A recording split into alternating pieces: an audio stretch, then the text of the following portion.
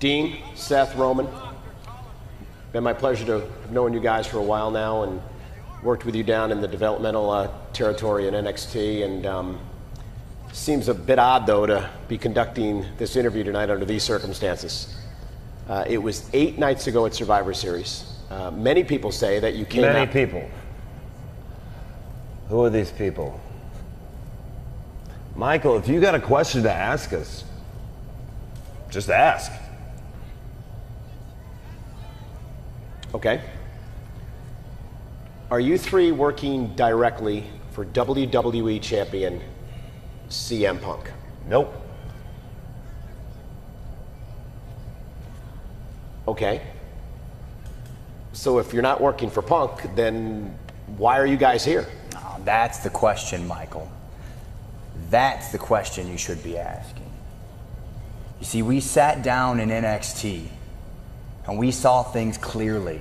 Crystal clear, actually. You see, everybody around here has to answer to the likes of the Vickie Guerreros and the Booker T's. And Vickie and Booker, they have to answer to the board of the directors. And the board of directors ultimately has to answer to the WWE universe, the almighty WWE universe. What is that, Michael? What is that? That's a popularity contest. And that's not right. That's wrong, Michael. We saw things heading in the wrong direction. We stepped in and righted those wrongs. Michael, we are a shield from injustice in. WWE. I mean, come on, guys. There's no denying that everything you've done so far has benefited CM Punk. Michael, it's coincidence, happenstance. You ever heard of it? It's not about benefiting Punk. It's about right and wrong. CM Punk, the WWE champion, was forced to defend his title in a triple threat match against two guys he had already defeated. That's wrong. So we stepped in. If it had been Ryback or Cena, we'd done the same thing. If Ryback was champion for 365 days and Punk tried to ruin his party, we would have intervened on Ryback's behalf. 365 days as champion in this era, that's a huge milestone. That should be celebrated, right?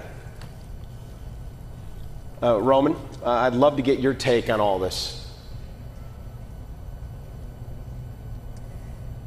When I want to say something, I'll say it. Look, Cole, we see what you're getting, okay? We hear everything you guys are saying. We read everything that's being written, okay? We know what you guys are thinking. Look, we're not renegades. We're not mercenaries. We're not the Nexus. If you're looking for the NWO, go buy the DVD. We're about principles. We're about honor. Where honor no longer exists, we're going to step in. It's like he said. We're a shield from injustice. Yeah. We're a shield from injustice. We are the shield. Okay, so. Hey, hey, hey. I got something to say.